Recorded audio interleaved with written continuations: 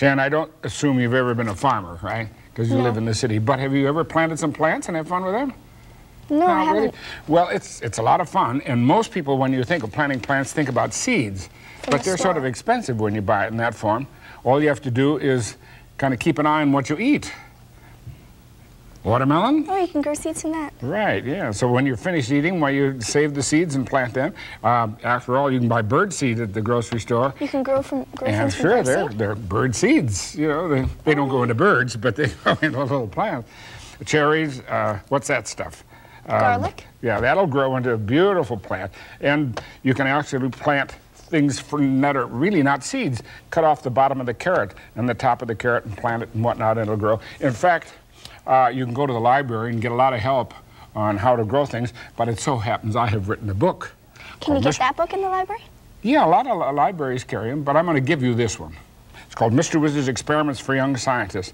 And here's a whole chapter on grocery farming, Oh, neat. grocery farm, with a lot of instructions on how to grow everything. So here, take the book, okay? And I'm going to give you all these seeds, and you bring them back when they're all grown, okay? Sounds good. This should be fun. Okay? And lots of luck, Thanks very much. okay? Bye.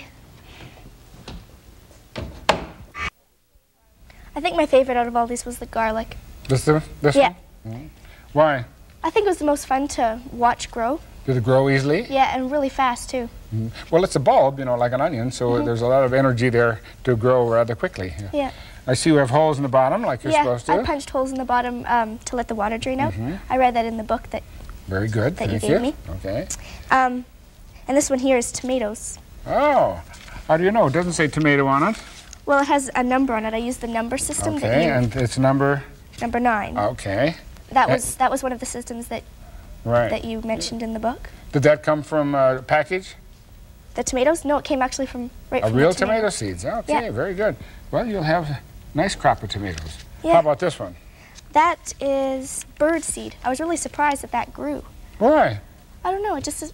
bird seed after it. all, it's seeds, right? You probably don't know what the plant is because it doesn't say on the outside. No, it looks like some sort of grass, but Yep. It's probably millet, which is a very favorite sort of thing that they put in bird seed.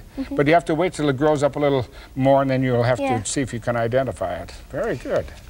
This one?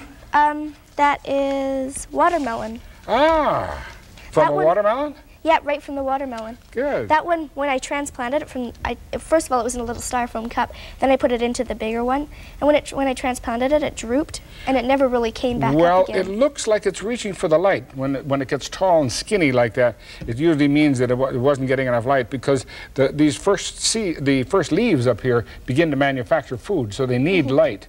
So been later raining on, for the, for quite a while. So Right, we haven't had very much sun, so later on, you're going to transplant it outside? yeah, into the garden. It'll probably be okay then. Yeah, This one did wet well. yeah, that's uh, cantaloupe, right from the cantaloupe. Ah, good.